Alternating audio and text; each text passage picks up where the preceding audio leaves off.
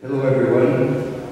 As we come into the Christmas season, I would like to welcome all, this wonderful audience out there today, for this very unique presentation. But before I start, um, since Christmas is coming, we have here the inevitable bazaar, which is called, am I correct, Holly and Heather? Is that correct? And you don't want to, you don't want to miss that. I'm sorry I can't sing like Dave Mitchell to announce it, but it is this coming Saturday starting at 10 o'clock. And I can promise you ladies will sell you almost anything you want. Today um, is a very unique presentation as we want to look at the various facets of time, the passing of time, the idiosyncrasies of time using Tai Chi and, um, and some uh, poetry. We would like to present this as one continuum. I know you're always very enthusiastic and ready to applaud, but today, would you please hold your applause and, and, and enter with us into into this this this this, this look. Say outwardly, but that's true. This this this look into the passing of, of time. So no applause, please, until it's over. After which you can stand and shout and scream, or whatever you feel is fit. Now, also, the, these concerts are informal concerts. So don't feel that when I say you can't applause, that doesn't mean you can't do it. Sit back and try to look with us into these aspects of, of time. At the end, at the end, don't go running out after. I want to introduce the musicians, and I'll be asking Steve to introduce the members of this club. Thank you very much.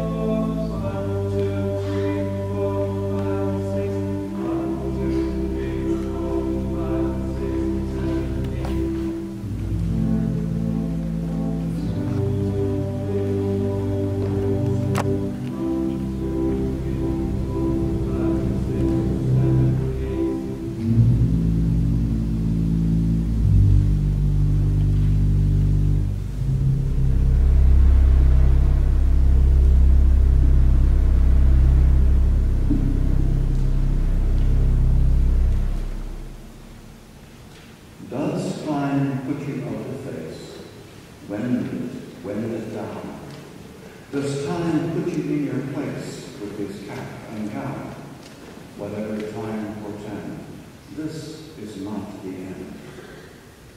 Sing it high or swing it low, play it slow or fast, from the street temporal flow, time appears at last. Whatever time portend, this is not the end. Assembled bits for you and me in contention by. From particles we form the sea, its beauty in our eye. Whatever time or time, this is not the end. Planets nodding each to each, in every grain of sand. Newton walking on the beach, timepiece in his hand. Whatever time or time, this is not the end.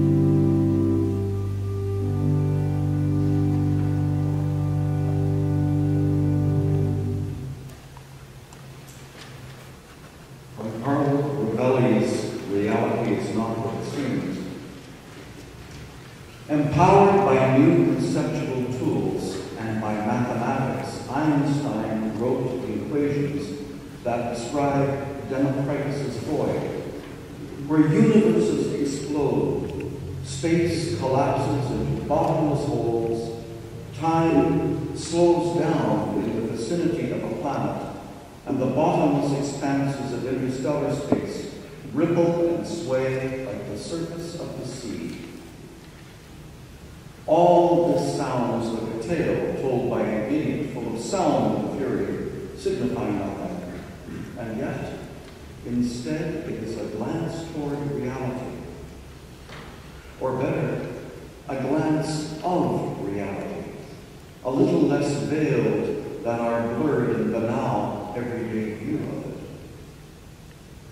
A reality that seems to be made of the same stuff our dreams are made of, but more real than our clouded daily dreaming.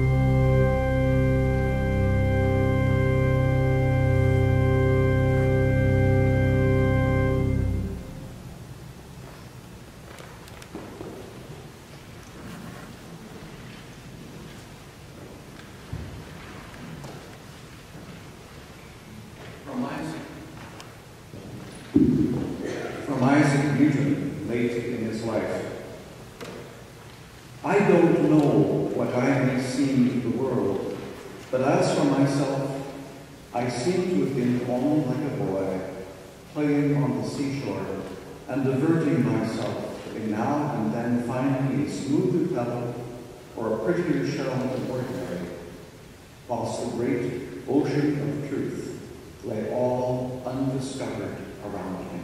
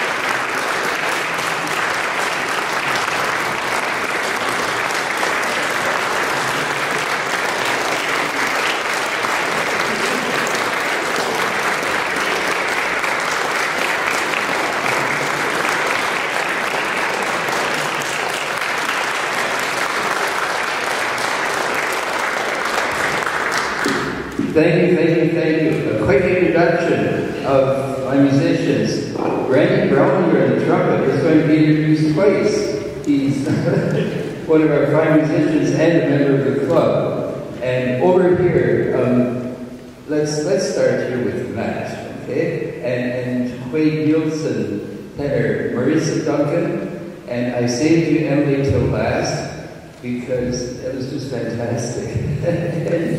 Um, and I want to say that next week, Emily and I are doing a concert together, and we're going to be concentrating, and we're going to be concentrating on French Noels, French Christmas carols. Um, so I'll turn it over to Steve, and you can introduce. And uh, I'd just like to introduce the members of Cold Mountain Internal Art from uh, my left here, Tony Perovkin, Peter Reese, uh, Randy has already been introduced, but he can be introduced again, I suppose. Alex uh, Petrovich, uh, Petrovich, Thank you